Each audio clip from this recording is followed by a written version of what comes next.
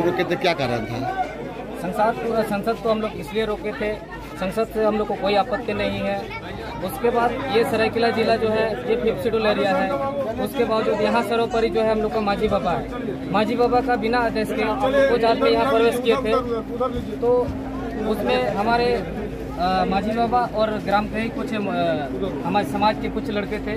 उस, उसके साथ धक्का मुक्की करके वहाँ से निकला गया। तो ये हम लोग को अच्छा नहीं लगता है कि ये सिर्फ़ सिर्फ़ कुछ लड़के का ये अपमान नहीं है, ये हमारे समाज का अपमान है और हम, हमारे समाज का अपमान हम लोग बर्दाश्त नहीं करेंगे। उसके बाद हम लोग यहाँ, हम लोग गणेश माली जी से हम लोग यही बात करने आए थे कि आप इस तरह से क्यों करेंगे। उसके बाद ये लोगों की तरफ़ से धक्का मुक्की किया गया। उसके बाद हम लोग का जो पारंपरिक औज़ार है तीर धनुष, हम लोग का वो तीर धनुष में से दो तीर को वो लोग हाथ में लेके तोड़ दिया।